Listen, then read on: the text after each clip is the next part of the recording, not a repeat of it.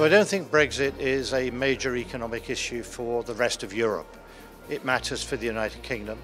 But in the long run, Brexit is a political issue, not an economic one. I really don't think that the long run consequences of Brexit will be seen to be anywhere near as serious as some people pretend. But it is a major political issue and it's led to tremendous division within the United Kingdom.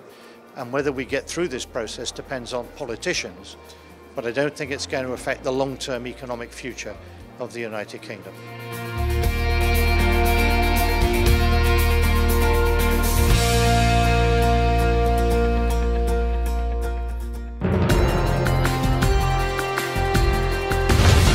عينك على العالم